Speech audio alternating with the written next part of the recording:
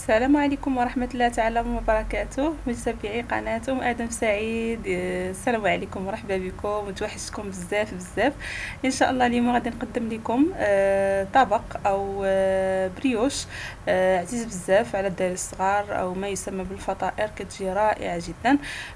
إن شاء الله في إطار الوصفات الخاصة بالأطفال إن شاء الله اللي كنبغيو نحضروا عليهم في الكوتي أو في المدرسة أو في الفطور. نتمنى أن الوصفة ديالي تنال الإعجاب ديالكم إن شاء الله كنوعدكم بمزيد من الوصفات في هذا الأسبوع إن شاء الله خاصة بالأطفال آه إن شاء الله ونمروا آه كما العادة نتعرفوا على المقادير ونتعرفوا على الوصفة. المقادير بسيطة جدا وسهلة. غادي نحتاجو أول شيء كأس كبير ديال الحليب. الحليب يكون دافي. وضعته فوق البوطة حتى دفى يعني قليلا فقط ما يكونش طيب يكون دافي. غادي نضيف ليه 10 غرام ديال الخميرة. آه، الحليب يكون دافي باش يتفاعل ليا مع الخميرة ديالي. كنضيف ليه كما قلت لكم 10 غرام ديال الخميرة الفورية وكنضيف شوية الملح وتنضيف نصف كأس ديال آه، السكر نصف كأس آه، صغير ماشي كبير. الحليب غادي نستعملوا ليه الكأس الكبير والزيت والسكر غادي نستعملوا ليها الكيسان الصغار. غادي نخلطوا هاد المكونات جيدا. من بعد غادي نضيف كأس صغير ديال الزيت. نخلط المكونات ديالي ثم غادي نضيف البيضة دائما مع التحراك. حتى كينسجموا ليا المكونات مزيان. من بعد غادي نبدأ بإضافة الدقيق. الدقيق آه، غادي نضيفوه تدريجيا آه هاد المقادير. كتدي لينا تقريبا 500 غرام ديال الدقيق. المهم أنكم ديروا آه، يعني الدقيق عينيكم ميزانكم. كنبداو نضيفو في الدقيق حتى كتجمع ليا العجينة. العجينة ما خاصهاش نهائيا تكون قاصحة. خاصها يعني تجي تكون كتلصق لينا في اليد آه كما كتشوفوا بهذا الشكل هذا. هنايا أنا كفاتني 500 غرام. نتوما يعني ديروا على حسب عينيكم ميزانكم.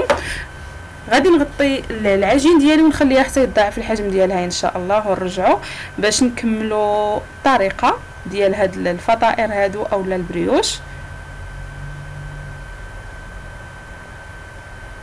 هنايا كما شفتوا خليتها ساعة المكانة آه ساعة من بعد ما آه تنفخات لي العجين وضاعف لي الحجم ديالها.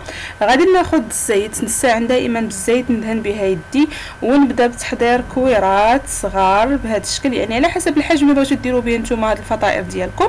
آه كبار اولا صغار. أنايا أنا غادي نديرهم شوية متوسطين. غادي نبدأ بتحضير الكويرات بهذا الشكل هذا حتى كنكمل العجينة ديالي كاملة.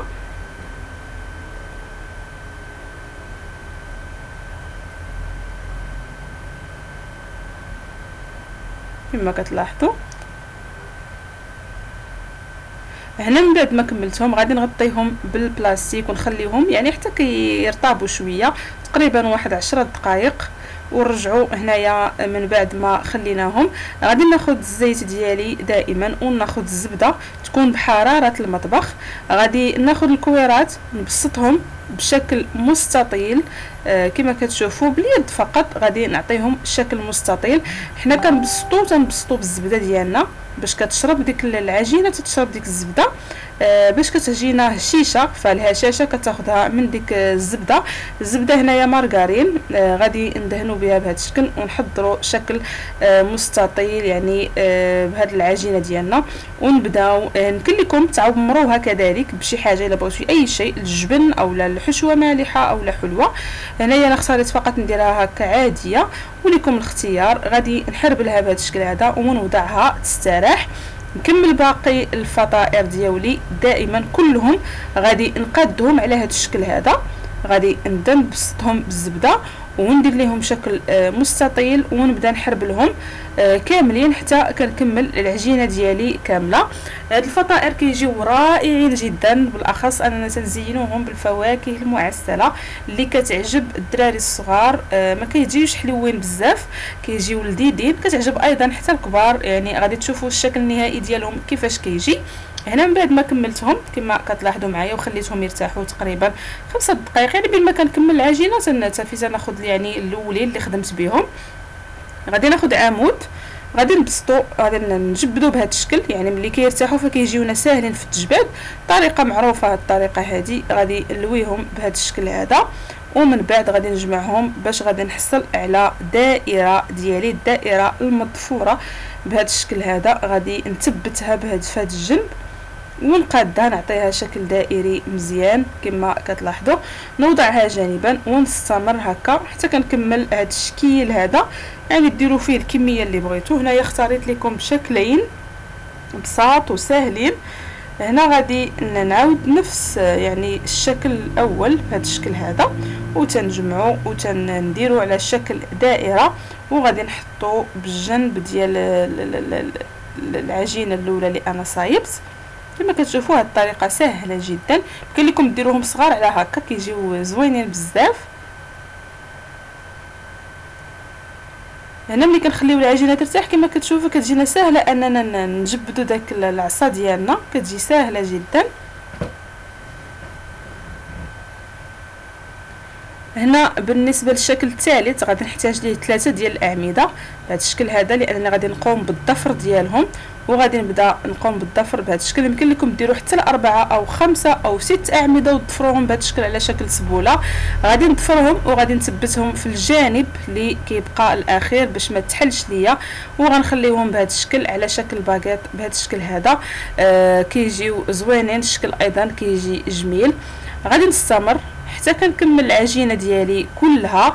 آه، نتوما لكم الاختيار. هناك أشكال عديدة. غادي تلقاوها أيضا في القناة ديالي. فيديو خاص بأشكال عجينة البريوش.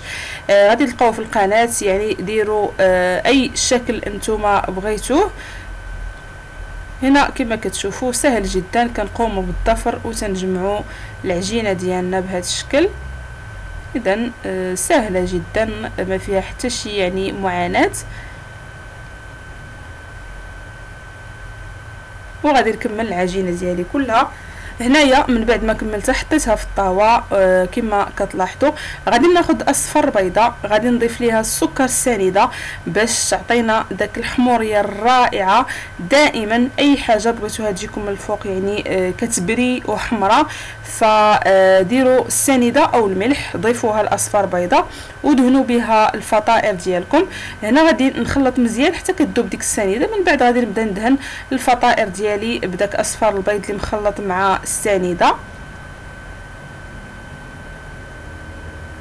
اذا كندهنهم مزيان من الوجه ديالهم باش كيعطيونا داك اللون الرائع ملي تيطيبوا